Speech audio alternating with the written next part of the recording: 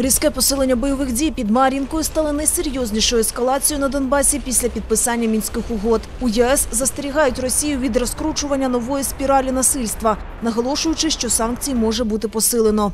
Українським військам вдалося втримати позиції під час наступу загонів так званої ДНР.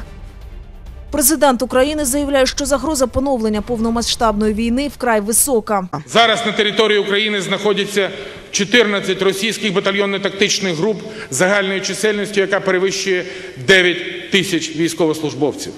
Концентрація російських військових поблизу державного кордону в півтора раз більше ніж рік тому. Внаслідок атаки російсько-сепаратистських військ на Мар'їнку загинуло п'ять українських військових і стільки ж цивільних.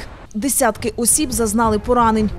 ОБСЄ оприлюднила звіт, де повідомила, що напередодні наступу її спостерігачі фіксували в районі Мар'їнки рух великої кількості важкого озброєння з боку сепаратистів. При цьому в ОБСЄ зазначили, що українські війська офіційно повідомили про застосування важкого озброєння у відповідь на реальну загрозу у районі Мар'їнки.